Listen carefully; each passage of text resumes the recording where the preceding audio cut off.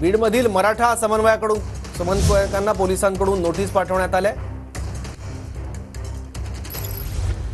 नागपूर जिल्हा बँक घोटाळा प्रकरणी सुनील केदार यांनी विनंती अर्ज फेटाळलाय सुनील केदार यांचा विनंती अर्ज सहकार मंत्री वळसे पाटलांनी फेटाळला.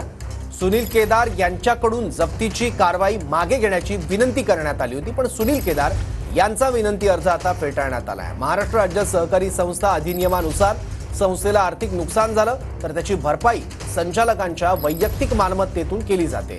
ही प्रक्रिया दोन दशकांपासून रेंगाळते आहे. आता वसुली प्रक्रिया सुरू होण्याची शक्यता आहे.